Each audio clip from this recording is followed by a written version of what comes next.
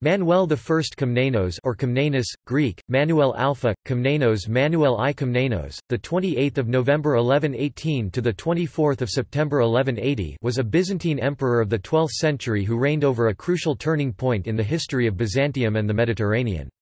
His reign saw the last flowering of the Komnenian Restoration, during which the Byzantine Empire had seen a resurgence of its military and economic power, and had enjoyed a cultural revival. Eager to restore his empire to its past glories as the superpower of the Mediterranean world, Manuel pursued an energetic and ambitious foreign policy. In the process he made alliances with the Pope and the resurgent West. He invaded the Norman Kingdom of Sicily, although unsuccessfully, being the last Eastern Roman emperor to attempt reconquests in the western Mediterranean. The passage of the potentially dangerous Second Crusade was adroitly managed through his empire. Manuel established a Byzantine protectorate over the Crusader states of Outremer. Facing Muslim advances in the Holy Land, he made common cause with the Kingdom of Jerusalem and participated in a combined invasion of Fatimid Egypt. Manuel reshaped the political maps of the Balkans and the eastern Mediterranean, placing the kingdoms of Hungary and Outremer under Byzantine hegemony and campaigning aggressively against his neighbours both in the west and in the east. However, towards the end of his reign Manuel's achievements in the east were compromised by a serious defeat at Myriokephalon, which in large part resulted from his arrogance in attacking a well-defended Seljuk position. Although the Byzantines recovered and Manuel concluded an advantageous peace with Sultan Kilij Arslan II, Myriokephalon proved to be the final, unsuccessful effort by the empire to recover the interior of Anatolia from the Turks. Called Ho Megas, Ho Megas translated as the Great, by the Greeks, Manuel is known to have inspired intense loyalty in those who served him. He also appears as the hero of a history written by his secretary, John Kinnamos, in which every virtue is attributed to him. Manuel, who was influenced by his contact with Western Crusaders, enjoyed the reputation of the most blessed emperor of Constantinople in parts of the Latin world as well. Modern historians, however, have been less enthusiastic about him. Some of them assert that the great power he wielded was not his own personal achievement, but that of the dynasty he represented. They also argue that, since Byzantine imperial power declined catastrophically after Manuel's death, it is only natural to look for the causes of this decline in his reign.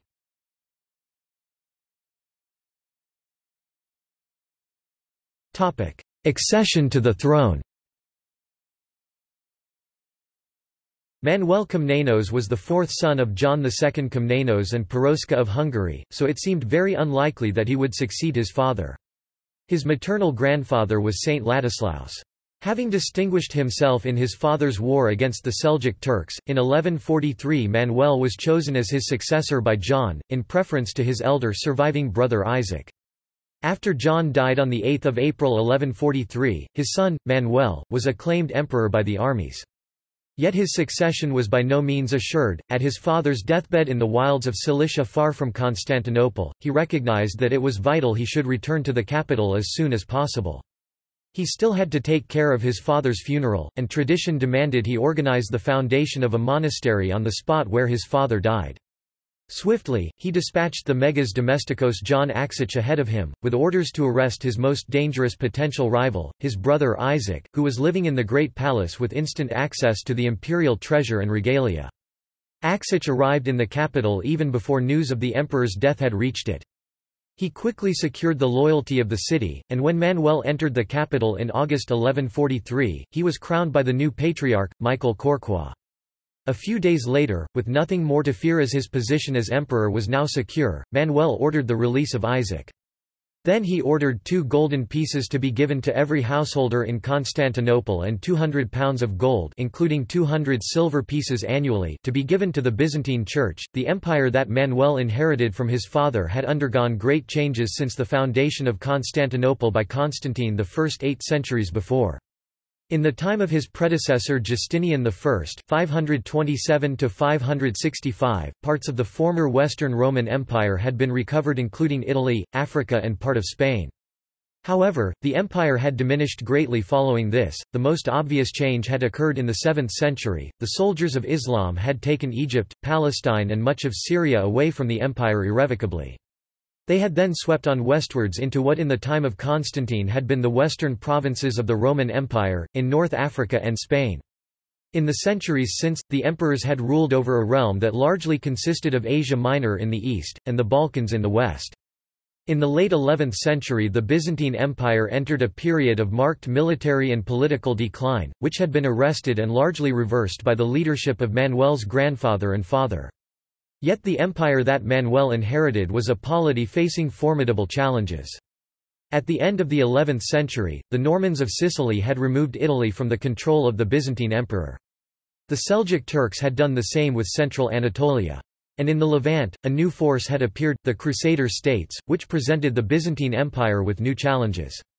Now, more than at any time during the preceding centuries, the task facing the emperor was daunting indeed.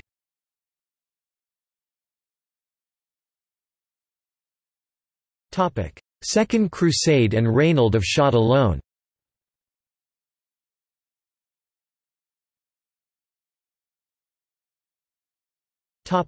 Prince of Antioch. The first test of Manuel's reign came in 1144, when he was faced with a demand by Raymond, Prince of Antioch for the cession of Cilician territories. However, later that year the Crusader county of Edessa was engulfed by the tide of a resurgent Islamic jihad under Imad ad-Din Atabeg Zengi. Raymond realized that immediate help from the west was out of the question. With his eastern flank now dangerously exposed to this new threat, there seemed little option but for him to prepare for a humiliating visit to Constantinople. Swallowing his pride, he made the journey north to ask for the protection of the emperor. After submitting to Manuel, he was promised the support that he had requested, and his allegiance to Byzantium was secured.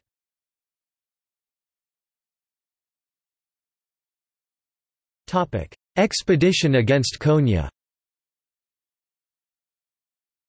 In 1146 Manuel assembled his army at the military base Lopadion and set out on a punitive expedition against Masud the Sultan of Rum, who had been repeatedly violating the frontiers of the empire in western Anatolia and Cilicia.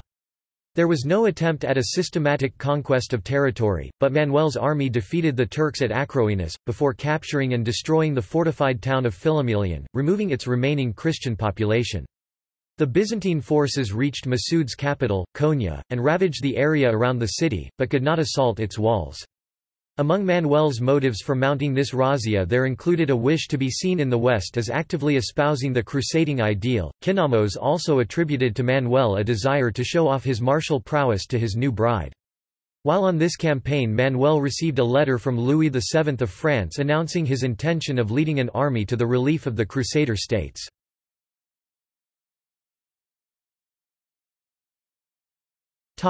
Arrival of the Crusaders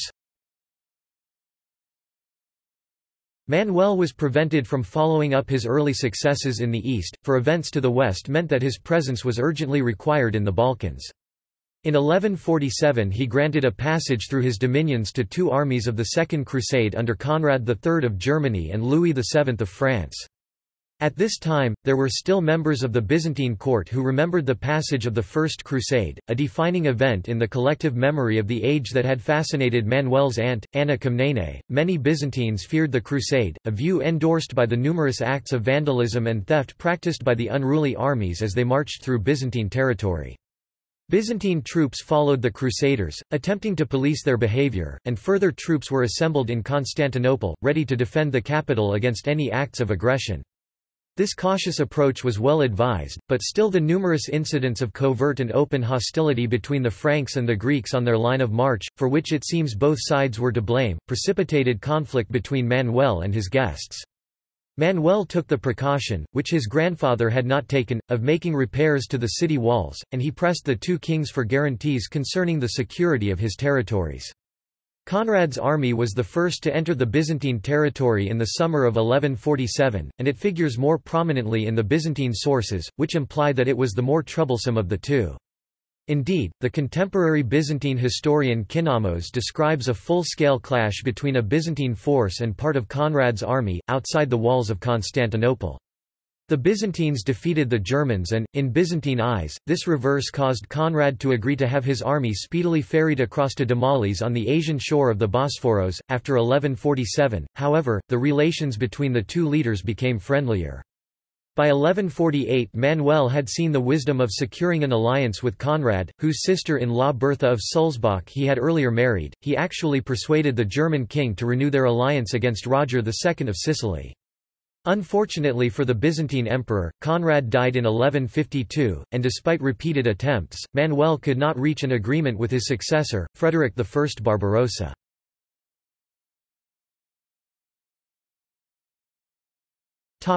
Cyprus invaded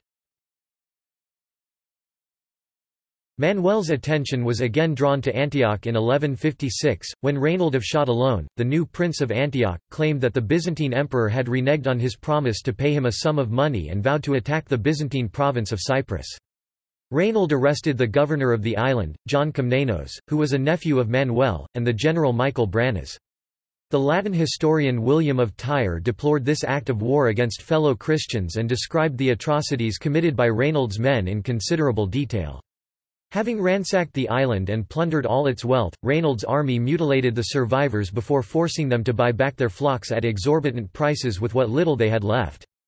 Thus enriched with enough booty to make Antioch wealthy for years, the invaders boarded their ships and set sail for home. Raynald also sent some of the mutilated hostages to Constantinople as a vivid demonstration of his disobedience and his contempt for the Byzantine emperor. Manuel responded to this outrage in a characteristically energetic way. In the winter of 1158–59, he marched to Cilicia at the head of a huge army. The speed of his advance Manuel had hurried on ahead of the main army with 500 cavalry was such that he managed to surprise the Armenian Thoros of Cilicia, who had participated in the attack on Cyprus. Thoros fled into the mountains, and Cilicia swiftly fell to Manuel.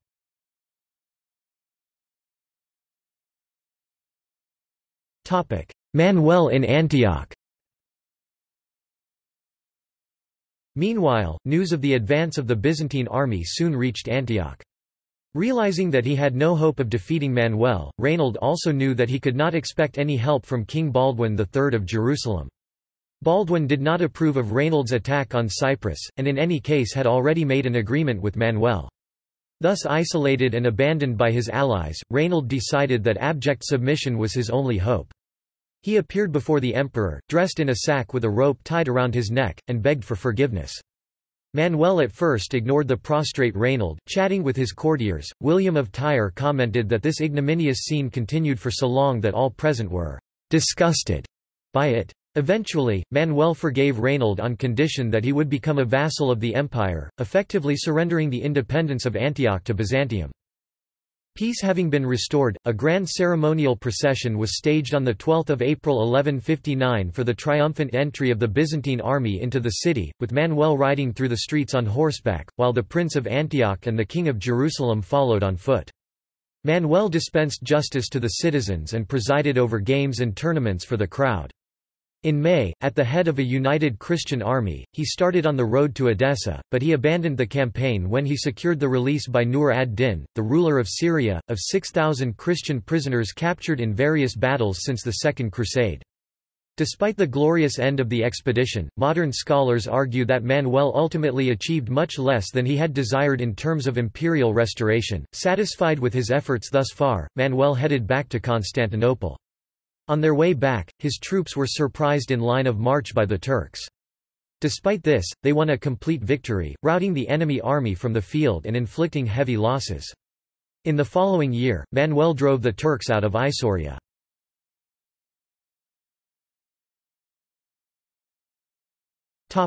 Italian campaign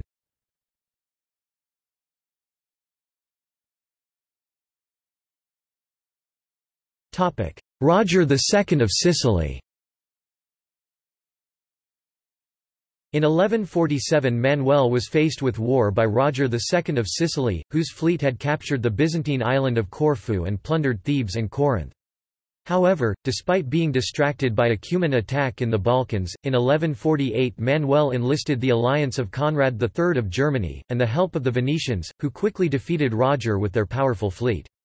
In 1149, Manuel recovered Corfu and prepared to take the offensive against the Normans, while Roger II sent George of Antioch with a fleet of 40 ships to pillage Constantinople's suburbs. Manuel had already agreed with Conrad on a joint invasion and partition of southern Italy and Sicily. The renewal of the German alliance remained the principal orientation of Manuel's foreign policy for the rest of his reign. Despite the gradual divergence of interests between the two empires after Conrad's death, Roger died in February 1154 and was succeeded by William I, who faced widespread rebellions against his rule in Sicily and Apulia, leading to the presence of Apulian refugees at the Byzantine court. Conrad's successor, Frederick Barbarossa, launched a campaign against the Normans, but his expedition stalled. These developments encouraged Manuel to take advantage of the multiple instabilities on the Italian peninsula. He sent Michael Palaiologos and John Doukas Kamateros, both of whom held the high imperial rank of sebastos, with Byzantine troops, ten ships, and large quantities of gold to invade Apulia in 1155. The two generals were instructed to enlist the support of Frederick, but he declined because his demoralized army longed to get back north of the Alps as soon as possible. Nevertheless, with the help of disaffected local barons, including Count Robert of Loritello, Manuel's expedition achieved astonishingly rapid progress as the whole of southern Italy rose up in rebellion against the Sicilian crown and the untried William I. There followed a string of spectacular successes as numerous strongholds yielded either to force or the lure of gold.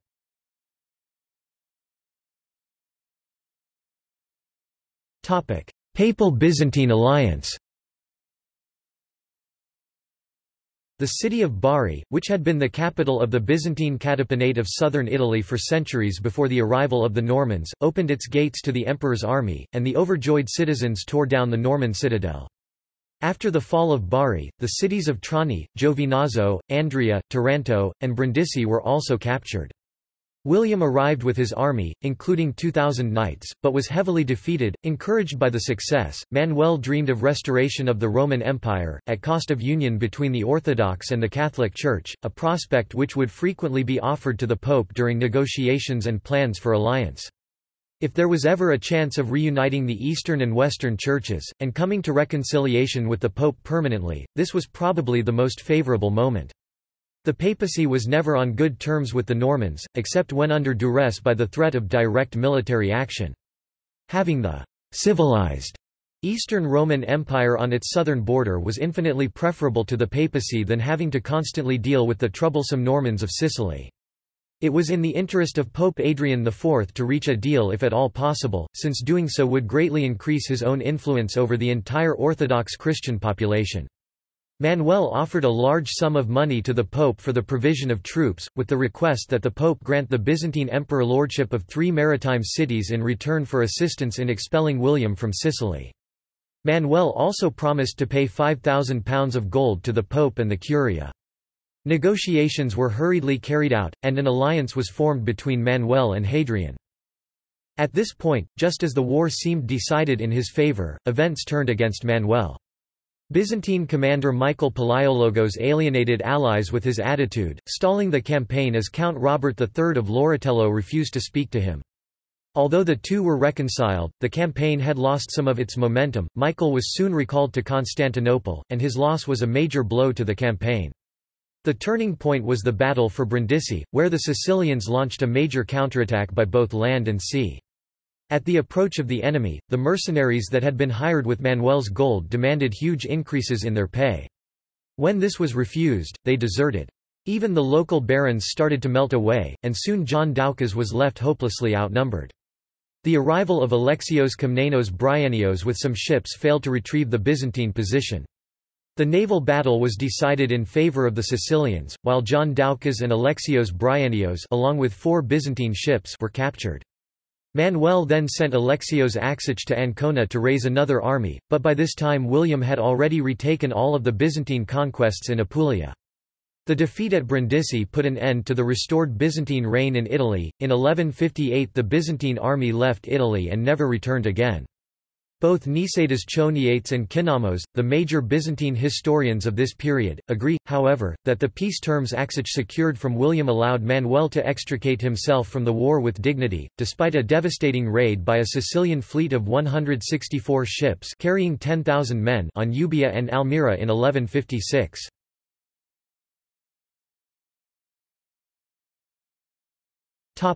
Failure of the Church Union During the Italian campaign, and afterwards, during the struggle of the papal curia with Frederick, Manuel tried to seduce the popes with hints of a possible union between the Eastern and Western churches. Although in 1155 Pope Hadrian had expressed his eagerness to prompt the reunion of the churches, hopes for a lasting papal-Byzantine alliance came up against insuperable problems. Pope Adrian IV and his successors demanded recognition of their religious authority over all Christians everywhere and sought superiority over the Byzantine emperor, they were not at all willing to fall into a state of dependence from one emperor to the other. Manuel, on the other hand, wanted an official recognition of his secular authority over both East and West. Such conditions would not be accepted by either side. Even if a pro-Western emperor such as Manuel agreed, the Greek citizens of the empire would have rejected outright any union of this sort, as they did almost 300 years later when the Orthodox and Catholic churches were briefly united under the Pope.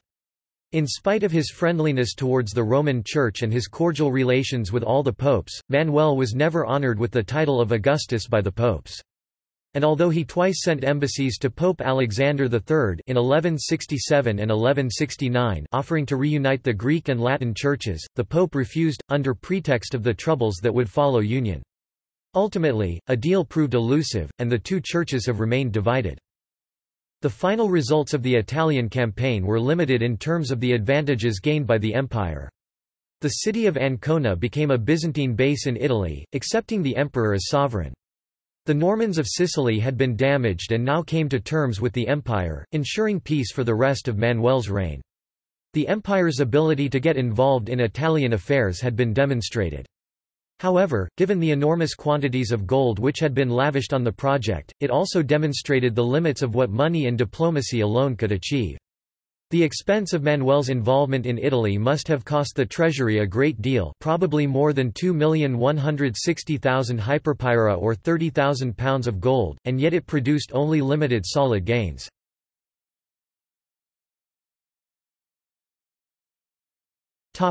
Byzantine policy in Italy after 1158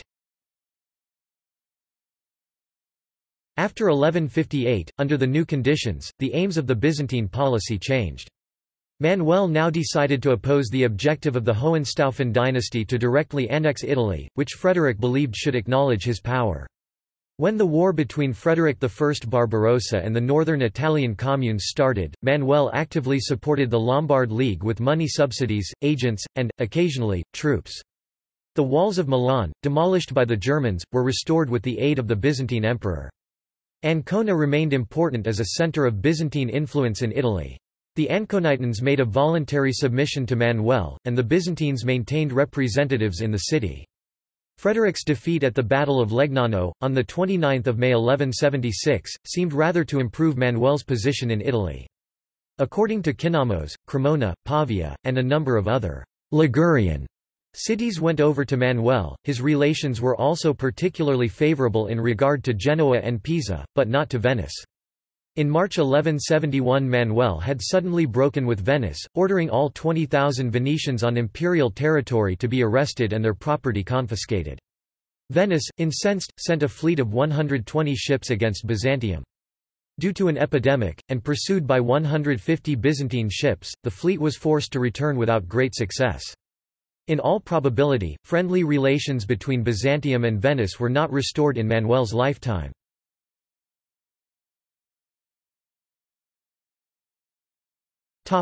Balkan frontier On his northern frontier Manuel expended considerable effort to preserve the conquests made by Basil II over 100 years earlier and maintained, sometimes tenuously, ever since. Due to distraction from his neighbours on the Balkan frontier, Manuel was kept from his main objective, the subjugation of the Normans of Sicily. Relations had been good with the Serbs and Hungarians since 1129, so the Serb rebellion came as a shock. The Serbs of Rascia, being so induced by Roger II of Sicily, invaded Byzantine territory in 1149. Manuel forced the rebellious Serbs, and their leader, Uroš II, to vassalage 1150 -1152. He then made repeated attacks upon the Hungarians with a view to annexing their territory along the Sava. In the wars of 1151–1153 and 1163–1168 Manuel led his troops into Hungary and a spectacular raid deep into enemy territory yielded substantial war booty. In 1167, Manuel sent 15,000 men under the command of Andronikos Kontostefanos against the Hungarians, scoring a decisive victory at the Battle of Sirmium and enabling the empire to conclude a very advantageous peace with the Hungarian kingdom by which Sirmia, Bosnia, and Dalmatia were ceded.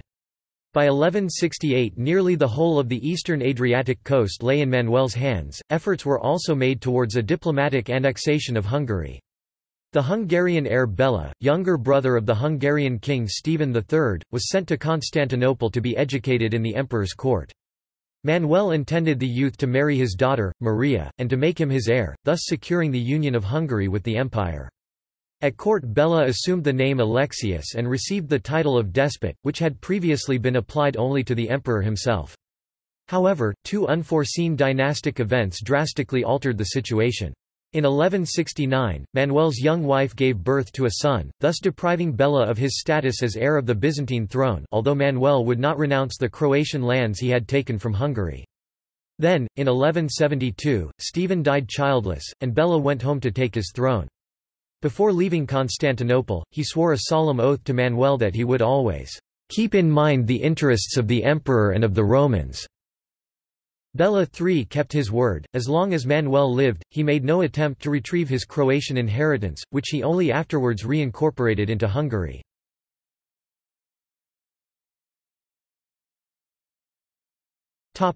Relations with Russia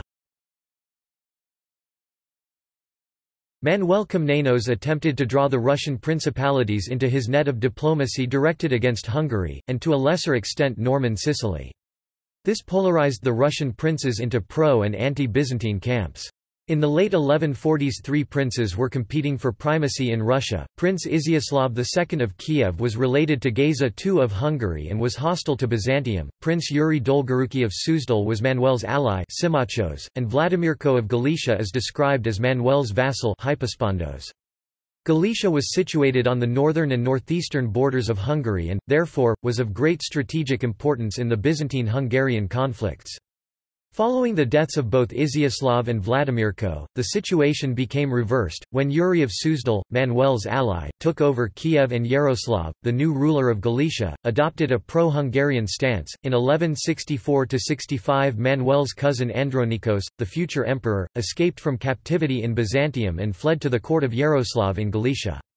This situation, holding out the alarming prospect of Andronikos making a bid for Manuel's throne sponsored by both Galicia and Hungary, spurred the Byzantines into an unprecedented flurry of diplomacy.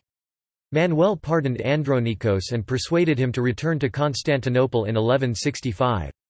A mission to Kiev, then ruled by Prince Rostislav, resulted in a favorable treaty and a pledge to supply the empire with auxiliary troops. Yaroslav of Galicia was also persuaded to renounce his Hungarian connections and return fully into the imperial fold. As late as 1200 the princes of Galicia were providing invaluable services against the enemies of the empire, at that time the Cumans. The restoration of relations with Galicia had an immediate benefit for Manuel when, in 1166, he dispatched two armies to attack the eastern provinces of Hungary in a vast pincer movement. One army crossed the Wallachian plain and entered Hungary through the Transylvanian Alps southern Carpathians, while the other army made a wide circuit to Galicia and, with Galician aid, crossed the Carpathian Mountains. Since the Hungarians had most of their forces concentrated on the Sirmium and Belgrade frontier, they were caught off guard by the Byzantine invasion. This resulted in the Hungarian province of Transylvania being thoroughly ravaged by the Byzantine armies.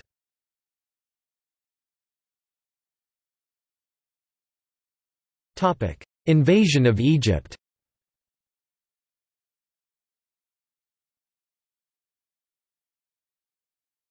Topic: Alliance with the Kingdom of Jerusalem Control of Egypt was a decades-old dream of the Crusader Kingdom of Jerusalem, and King Amalric I of Jerusalem needed all the military and financial support he could get for his policy of military intervention in Egypt. Amalric also realized that if he were to pursue his ambitions in Egypt, he might have to leave Antioch to the hegemony of Manuel who had paid 100,000 dinars for the release of Bohemond III. In 1165, he sent envoys to the Byzantine court to negotiate a marriage alliance Manuel had already married Amalric's cousin Maria of Antioch in 1161. After a long interval of two years, Amalric married Manuel's grandniece Maria Comnene in 1167, and "...swore all that his brother Baldwin had sworn before." A formal alliance was negotiated in 1168, whereby the two rulers arranged for a conquest and partition of Egypt, with Manuel taking the coastal area, and Amalric the interior. In the autumn of 1169 Manuel sent a joint expedition with Amalric to Egypt, a Byzantine army and a naval force of 20 large warships, 150 galleys, and 60 transports, under the command of the Megas doux Andronikos Kontostefanos, joined forces with Amalric at Ascalon. William of Tyre, who negotiated the alliance, was impressed in particular by the large transport ships that were used to transport the cavalry forces of the army. Although such a long-range attack on a state far from the center of the empire may seem extraordinary, the last time the empire had attempted anything on this scale was the failed invasion of Sicily over 120 years earlier. It can be explained in terms of Manuel's foreign policy, which was to use the Latins to ensure the survival of the empire. This focus on the bigger picture of the eastern Mediterranean and even further afield thus led Manuel to intervene in Egypt. It was believed that in the context of the wider struggle between the Crusader states and the Islamic powers of the East, control of Egypt would be the deciding factor. It had become clear that the ailing Fatimid Caliphate of Egypt held the key to the fate of the Crusader states. If Egypt came out of its isolation and joined forces with the Muslims under Nur ad-Din, the Crusader cause was in trouble. A successful invasion of Egypt would have several further advantages for the Byzantine Empire. Egypt was a rich province, and in the days of the Roman Empire it had supplied much of the grain for Constantinople before it was lost to the Arabs in the 7th century. The revenues that the empire could have expected to gain from the conquest of Egypt would have been considerable, even if these would have to be shared with the Crusaders. Furthermore, Manuel may have wanted to encourage Amalric's plans, not only to deflect the ambitions of the Latins away from Antioch, but also to create new opportunities for joint military ventures that would keep the King of Jerusalem in his debt, and would also allow the empire to share in territorial gains.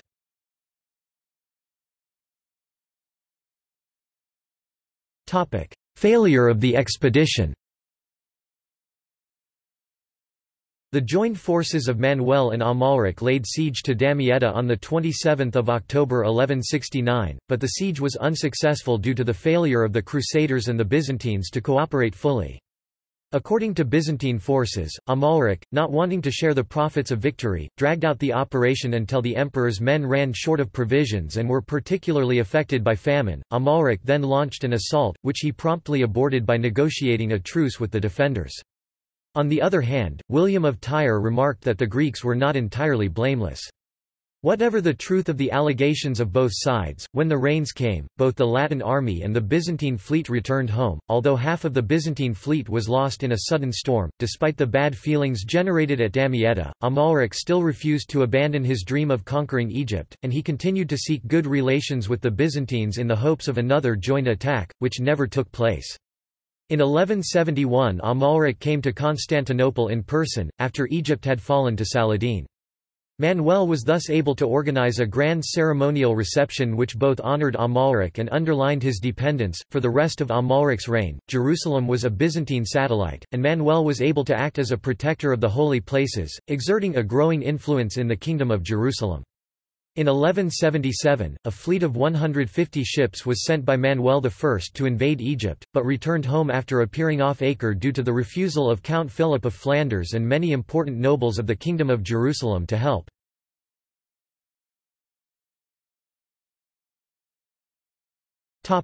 Kilij Arslan II and the Seljuk Turks Between 1158–1162, a series of Byzantine campaigns against the Seljuk Turks of the Sultanate of Rum resulted in a treaty favorable to the empire. According to the agreement, certain frontier regions, including the city of Sivas, should be handed over to Manuel in return for some quantity of cash, while it also obliged the Seljuk Sultan Kilij Arslan II to recognize his overlordship. Kilij Arslan II used the peace with Byzantium, and the power vacuum caused by the death in 1174 of Nur ad-Din Zangi the ruler of Syria, to expel the Danishmends from their Anatolian emirates. When the Seljuk Sultan refused to cede some of the territory he had taken from the Danishmends to the Byzantines, as he was obliged to do as part of his treaty obligations, Manuel decided that it was time to deal with the Turks once and for all. Therefore, he assembled the full imperial army and marched against the Seljuk capital, Iconium Konya. Manuel's strategy was to prepare the advanced bases of Dorylaeum and Sublaeum, and then to use them to strike as quickly as possible at Iconium. Yet Manuel's army of 35,000 men was large and unwieldy. According to a letter that Manuel sent to King Henry II of England, the advancing column was 10 miles 16 kilometers long. Manuel marched against Iconium via Laodicea, Chone, Lamp, Celaenae, Choma, and Antioch. Just outside the entrance to the pass at Myriokephalon, Manuel was met by Turkish ambassadors, who offered peace on generous terms. Most of Manuel's generals and experienced courtiers urged him to accept the offer. The younger and more aggressive members of the court urged Manuel to attack, however, and he took their advice and continued his advance. Manuel made serious tactical errors, such as failing to properly scout out the route ahead. These failings caused him to lead his forces straight into a classic ambush. On 17 September 1176 Manuel was checked by Seljuk Sultan Kilij Arslan II at the Battle of Myriokephalon in highlands near the Tzibritze Pass, in which his army was ambushed while marching through the narrow mountain pass. The Byzantines were hemmed in by the narrowness of the pass, this allowed the Seljuks to concentrate their attacks on part of the Byzantine army, especially the baggage and siege train, without the rest being able to intervene. The army's siege equipment was quickly destroyed, and Manuel was forced to withdraw. Without siege engines, the conquest of Iconium was impossible. According to Byzantine sources, Manuel lost his nerve both during and after the battle, fluctuating between extremes of self-delusion and self-abasement. According to William of Tyre, he was never the same again. The terms by which Kilij Arslan II allowed Manuel and his army to leave were that he should remove his forts and armies on the frontier at Dorylaeum and Sublaeum. Since the Sultan had already failed to keep his side of the earlier Treaty of 1162, however, Manuel only ordered the fortifications of Sublaeum to be dismantled, but not the fortifications of Dorylaeum. Nevertheless, defeat at Myriokephalon was an embarrassment for both Manuel personally and also for his empire. The Komnenian emperors had worked hard since the Battle of Manzikert, 105 years earlier, to restore the reputation of the empire. Yet because of his overconfidence, Manuel had demonstrated to the whole world that Byzantium still could not decisively defeat the Seljuks, despite the advances made during the past century. In Western opinion, Myriokephalon cut Manuel down to a humbler size, not that of emperor of the Romans but that of king of the Greeks. The defeat at Myriokephalon has often been depicted as a catastrophe in which the entire Byzantine army was destroyed. Manuel himself compared the defeat to Manzikert, it seemed to him that the Byzantine defeat at Myriokephalon complemented the destruction at Manzikert. In reality, although a defeat, it was not too costly and did not significantly diminish the Byzantine army. Most of the casualties were borne by the right wing, largely composed of Allied troops commanded by Baldwin of Antioch, and also by the baggage train, which was the main target of the Turkish ambush. The limited losses inflicted on native Byzantine troops were quickly recovered, and in the following year Manuel's forces defeated a force of picked Turks. John Komnenos Vatatzes, who was sent by the emperor to repel the Turkish invasion, not only brought troops from the capital but also was able to gather an army along the way. Vatatzes caught the Turks in an ambush as they were crossing the Meander River. The subsequent Battle of Hyelion and Leimocheir effectively destroyed them as a fighting force. This is an indication that the Byzantine army remained strong and that the defensive program of Western Asia Minor was still successful. After the victory on the Meander, Manuel himself advanced with a small army to drive the Turks from Panasium, south of Cotyaeum, in 1178. However, a Byzantine army retreated after encountering a Turkish force at Charax, allowing the Turks to capture many livestock. The city of Claudiopolis in Bithynia was besieged by the Turks in 1179, forcing Manuel to lead a small cavalry force to save the city, and then, even as late as 1180, the Byzantines succeeded in scoring a victory over the Turks. The continuous warfare had a serious effect upon Manuel's vitality, he declined in health and in 1180 succumbed to a slow fever.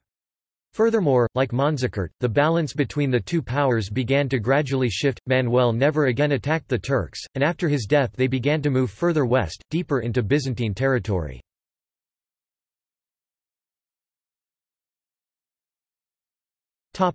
Doctrinal controversies 1156 to 1180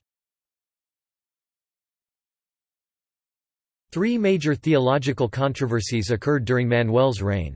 In 1156–1157 the question was raised whether Christ had offered himself as a sacrifice for the sins of the world to the Father and to the Holy Spirit only, or also to the Logos i.e., to himself. In the end a synod held at Constantinople in 1157 adopted a compromise formula, that the Word made flesh offered a double sacrifice to the Holy Trinity, despite the dissidence of Patriarch of Antioch elect Soterichos Panteugenos. Ten years later, a controversy arose as to whether the saying of Christ, "'My Father is greater than I' referred to his divine nature, to his human nature, or to the union of the two. Demetrius of Lampe, a Byzantine diplomat recently returned from the West, ridiculed the way the verse was interpreted there, that Christ was inferior to his Father in his humanity but equal in his divinity.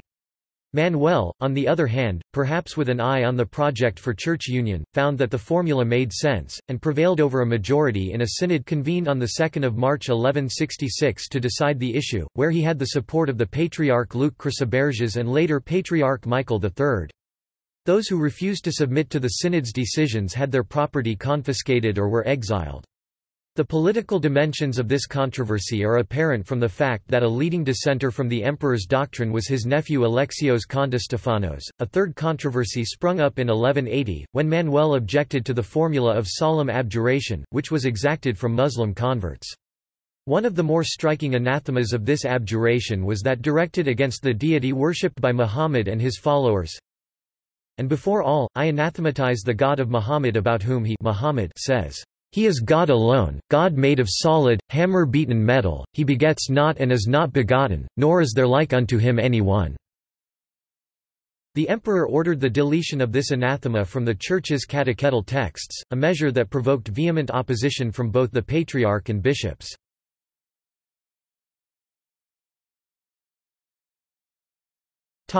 Chivalric narrations Manuel is representative of a new kind of Byzantine ruler who was influenced by his contact with Western crusaders. He arranged jousting matches, even participating in them, an unusual and discomforting sight for the Byzantines. Endowed with a fine physique, Manuel has been the subject of exaggeration in the Byzantine sources of his era, where he is presented as a man of great personal courage. According to the story of his exploits, which appear as a model or a copy of the romances of chivalry, such was his strength and exercise in arms that Raymond of Antioch was incapable of wielding his lance and buckler. In a famous tournament, he is said to have entered the lists on a fiery courser, and to have overturned two of the stoutest Italian knights. In one day, he is said to have slain forty Turks with his own hand, and in a battle against the Hungarians he allegedly snatched a banner, and was the first, almost alone, who passed a bridge that separated his army from the enemy. On another occasion, he is said to have cut his way through a squadron of 500 Turks, without receiving a wound. He had previously posted an ambuscade in a wood and was accompanied only by his brother and Axouch.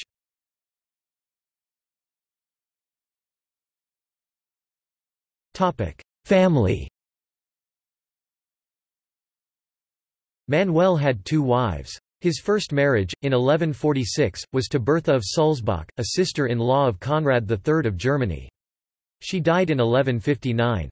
Children Maria Comnene (1152–1182), wife of Renier of Montferrat. Anna Comnene (1154–1158). Manuel's second marriage was to Maria of Antioch, nicknamed Xene, a daughter of Raymond and Constance of Antioch, in 1161. By this marriage, Manuel had one son, Alexios II Komnenos, who succeeded as emperor in 1180. Manuel had several illegitimate children. By Theodora Vatatzina, Alexios Komnenos born in the early 1160s, who was recognized as the emperor's son, and indeed received a title Sebastocrator. He was briefly married to Irene Komnene, illegitimate daughter of Andronikos I Komnenos, in 1183–1184, and was then blinded by his father-in-law. He lived until at least 1191 and was known personally to Choniates, by Maria Taronitissa, the wife of John Doukas Komnenos. Alexios Komnenos, a Pinkernes cupbearer, who fled Constantinople in 1184 and was a figurehead of the Norman invasion and the siege of Thessalonica in 1185, by other lovers. a daughter whose name is unknown. She was born around 1150 and married Theodore Maurozomes before 1170. Her son was Manuel Maurozomes, and some of her descendants ruled the Seljuk Sultanate of Rum. A daughter whose name is unknown, born around 1155. She was the maternal grandmother of the author Demetrios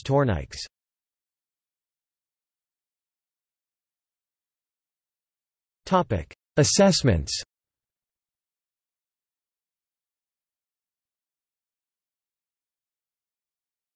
Topic: Foreign and military affairs As a young man, Manuel had been determined to restore by force of arms the predominance of the Byzantine Empire in the Mediterranean countries. By the time he died in 1180, 37 years had passed since that momentous day in 1143 when, amid the wilds of Cilicia, his father had proclaimed him emperor. These years had seen Manuel involved in conflict with his neighbors on all sides. Manuel's father and grandfather before him had worked patiently to undo the damage done by the Battle of Manzikert and its aftermath. Thanks to their efforts, the empire Manuel inherited was stronger and better organized than at any time for a century. While it is clear that Manuel used these assets to the full, it is not so clear how much he added to them, and there is room for doubt as to whether he used them to best effect. Manuel had proven himself to be an energetic emperor who saw possibilities everywhere, and whose optimistic outlook had shaped his approach to foreign policy. However, in spite of his military prowess Manuel achieved but a slight degree of his object of restoring the Byzantine Empire. Retrospectively, some commentators have criticized some of Manuel's aims as unrealistic, in particular citing the expeditions he sent to Egypt as proof of dreams of grandeur on an unattainable scale. His greatest military campaign, his grand expedition against the Turkish Sultanate of Iconium, ended in humiliating defeat, and his greatest diplomatic effort apparently collapsed, when Pope Alexander III became reconciled to the German Emperor Frederick Barbarossa at the Peace of Venice. Historian Mark C. Bartusis argues that Manuel and his father as well tried to rebuild a national army, but his reforms were adequate for neither his ambitions nor his needs. The defeat at Myriokephalon underscored the fundamental weakness of his policies. According to Edward Gibbon, Manuel's victories were not productive of any permanent or useful conquest. His advisors on Western church affairs included the Pisan scholar Hugh Eteriano.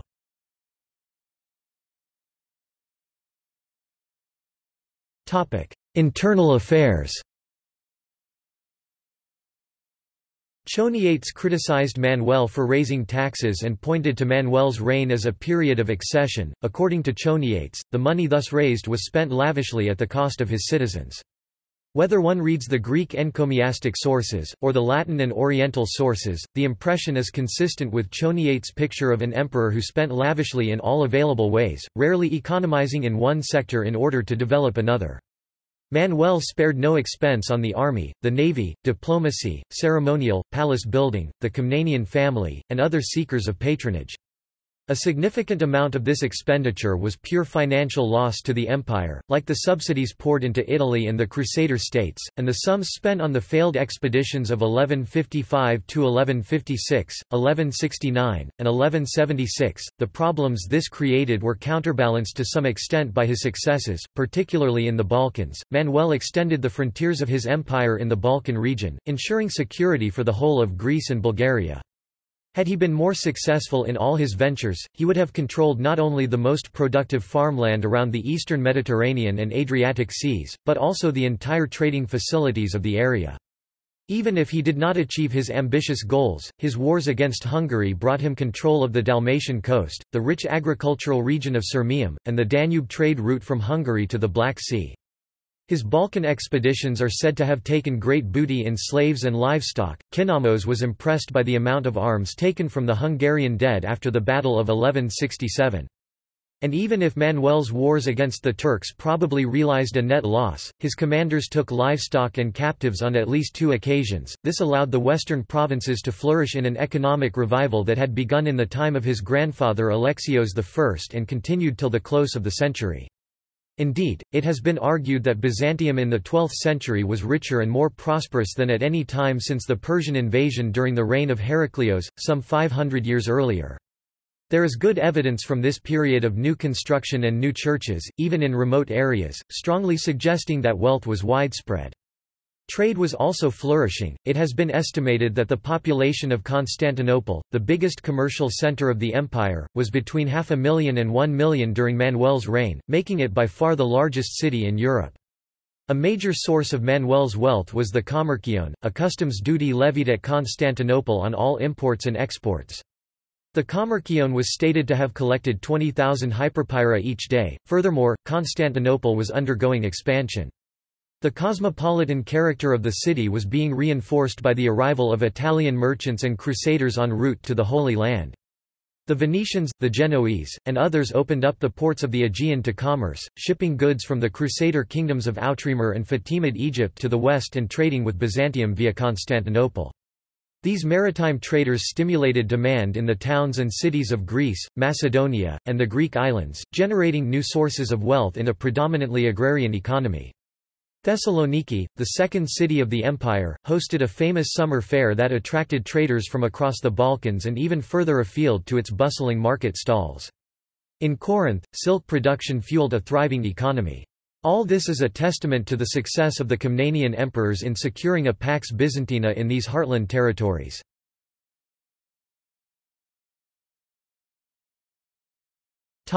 Legacy To the readers of his court, Manuel was the divine emperor. A generation after his death, Choniates referred to him as the most blessed among emperors, and a century later John Staurakios described him as great in fine deeds. John Phocas, a soldier who fought in Manuel's army, characterized him some years later as the world-saving and glorious emperor. Manuel would be remembered in France, Italy, and the Crusader states as the most powerful sovereign in the world. A Genoese annalist noted that with the passing of Lord Manuel of divine memory, the most blessed Emperor of Constantinople, all Christendom incurred great ruin and detriment. William of Tyre called Manuel, a wise and discreet prince of great magnificence, worthy of praise in every respect. A great-souled man of incomparable energy, whose memory will ever be held in benediction. Manuel was further extolled by Robert of Clary as a right worthy man and richest of all the Christians who ever were, and the most bountiful." A telling reminder of the influence that Manuel held in the Crusader states in particular can still be seen in the Church of the Holy Nativity in Bethlehem. In the 1160s the nave was redecorated with mosaics showing the councils of the church. Manuel was one of the patrons of the work. On the south wall, an inscription in Greek reads, the present work was finished by Ephraim the monk, painter and mosaicist, in the reign of the great Emperor Manuel Porphyrogenitos Komnenos and in the time of the great king of Jerusalem, Amalric. That Manuel's name was placed first was a symbolic, public recognition of Manuel's overlordship as leader of the Christian world. Manuel's role as protector of the Orthodox Christians and Christian holy places in general is also evident in his successful attempts to secure rights over the Holy Land. Manuel participated in the building and decorating of many of the basilicas and Greek monasteries in the Holy Land, including the Church of the Holy Sepulchre in Jerusalem, where thanks to his efforts the Byzantine clergy were allowed to perform the Greek liturgy each day. All this reinforced his position as overlord of the Crusader states, with his hegemony over Antioch and Jerusalem secured by agreement with Raynald, Prince of Antioch, and Amalric, King of Jerusalem respectively. Manuel was also the last Byzantine emperor who, thanks to his military and diplomatic success in the Balkans, could call himself ruler of Dalmatia, Bosnia, Croatia, Serbia, Bulgaria and Hungary. Byzantium looked impressive when Manuel died in 1180, having just celebrated the betrothal of his son Alexios II to the daughter of the King of France. Thanks to the diplomacy and campaigning of Alexios, John, and Manuel, the empire was a great power, economically prosperous, and secure on its frontiers, but there were serious problems as well. Internally, the Byzantine court required a strong leader to hold it together, and after Manuel's death stability was seriously endangered from within. Some of the foreign enemies of the empire were lurking on the flanks, waiting for a chance to attack, in particular the Turks in Anatolia, whom Manuel had ultimately failed to defeat, and the Normans in Sicily, who had already tried but failed to invade the empire on several occasions. Even the Venetians, the single most important western ally of Byzantium, were on bad terms with the empire at Manuel's death in 1180. Given this situation, it would have taken a strong emperor to secure the empire against the foreign threats it now faced, and to rebuild the depleted imperial treasury. But Manuel's son was a minor, and his unpopular regency government was overthrown in a violent coup d'état. This troubled succession weakened the dynastic continuity and solidarity on which the strength of the Byzantine state had come to rely.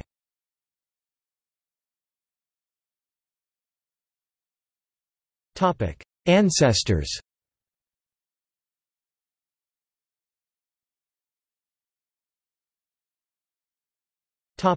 See also. List of Byzantine emperors. Notes